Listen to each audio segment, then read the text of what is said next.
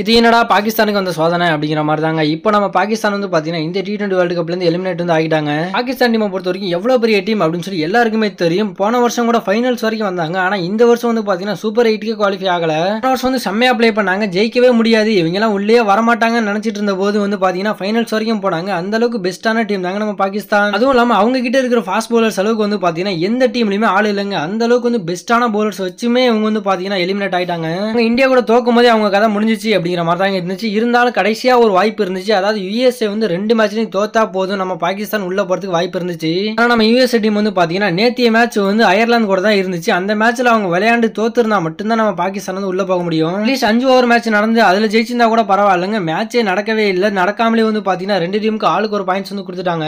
Group A பொறுத்த வரைக்கும் பாத்தீங்கன்னா நம்ம இந்தியா அமெரிக்கா ரெண்டு பேருமே சூப்பர் எயிட்டுக்குள்ள வந்து போயிட்டாங்க. பாகிஸ்தான் டீம் வந்து இதுக்குள்ளேயே போகலைங்க. இதுக்கப்புறம் தான் பாகிஸ்தான் டீம் பிளேயர்ஸ் வந்து பார்த்தீங்கன்னா ரொம்ப ரொம்ப ஃபீல் பண்ணியிருக்காங்க. எல்லாருமே நினைச்சது என்னன்னா இந்த மேட்சை கண்டிப்பா அயர்லாந்து ஜெயிச்சிருவாங்க அப்படிங்கிற மாதிரி தாங்க நினைச்சாங்க யூஎஸ்ஏ விட அயர்லாந்து வந்து ஒரு பெஸ்ட் டீம் தான். இருந்தாலும் இந்த வருஷம் வந்து ஒழுங்கா பண்ணாம இருந்திருக்கலாம். ஒருவேளை வந்து நம்ம அமெரிக்கா வீழ்த்திருந்தாங்க அப்படின்னா பாகிஸ்தானுக்கு வந்து ஒரு பெரிய லக்குனே சொல்லலாம். ஆனா நேத்து வந்து பாத்தீங்கன்னா மேட்ச் வந்து டாஸ் கூட போடலங்க. அந்த அளவுக்கு வந்து பாத்தீங்கன்னா மழையும் கிடையாது. மழை பெஞ்சு நின்றுச்சுங்க. நின்று ஒரு மூணு மணி நேரம் கிட்ட வெயிட் தான் பண்ணாங்க. ஸோ கேட்டா கிரவுண்டு சரியில்லை. கிரவுண்டு வந்து ஈரமா இருக்கு அப்படிங்கிற ஒரே ஒரு ரீசன் தாங்க சொன்னாங்க. ஐசிசி நடத்துற இவ்வளவு பெரிய டோர்னமெண்ட்ல அது வந்து ரொம்ப ரொம்ப மோசமான ரீசன் தாங்க இருக்கும். ஸோ கிரவுண்டு ஃபுல்லா அவங்க கவர் பண்ணியிருந்தாங்க அப்படின்னா கண்டிப்பா கிரவுண்ட்ல தண்ணி வந்திருக்காதுங்க. ஆனால் இவங்க வந்து பிச்சை மட்டும்தான் கவர் பண்ணுறாங்க மற்ற இடத்த வந்து அப்படியே விட்டுறாங்க. ஸோ புதுசாக தான் இவங்க வந்து டோர்னமெண்ட் வந்து நடத்துறாங்க. அதனால தான் இந்த அளவுக்கு வந்து மோசமாக வந்து முடிவு எடுத்திருக்காங்க. இதுதான் நம்ம பாகிஸ்தானுக்கு கடைசியில் ஆபத்தாகவும் அமைஞ்சிருக்கு. இதுக்கப்புறம் இவங்க வந்து டி டுவெண்ட்டி வேர்ல்டு கப் இந்த வருஷம் வந்து ப்ளே பண்ணவே முடியாதுங்க. அதனால தான் நம்ம பாகிஸ்தான் பிளேயர்ஸ் எல்லாருமே வந்து பார்த்தீங்கன்னா ரொம்ப ரொம்ப ஃபீல் பண்ணி அழுதுருப்பாங்க.